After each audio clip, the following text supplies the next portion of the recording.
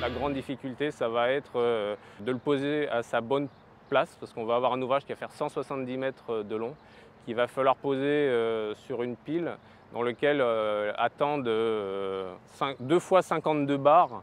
Il va falloir que l'ouvrage rentre sur ces donc 104 barres avec une tolérance de quelques centimètres.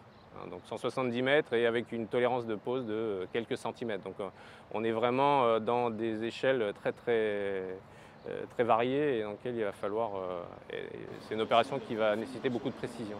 Vous appuyez sur une banane, elle va, elle va s'allonger. Hein, c'est un peu l'image que l'on peut avoir.